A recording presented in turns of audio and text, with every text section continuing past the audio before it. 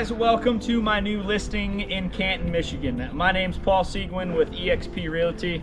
This home is located at 41476 Ashire Drive in Canton, Michigan. This beautiful quad level home, three beds, one and a half bath with a potential fourth bedroom as well.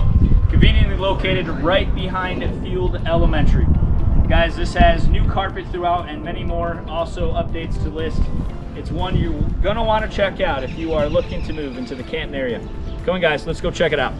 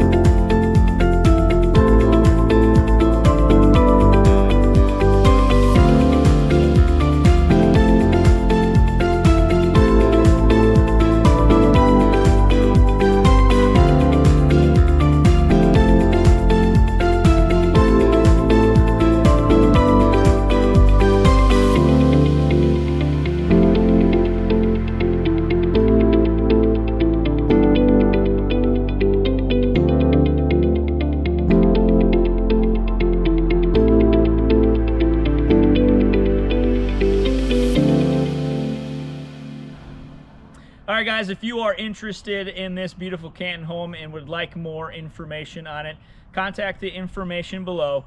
Or if you'd like to schedule a private showing as well, let us know. We'll make that happen. Again, guys, thank you, and we'll see you at the next listing.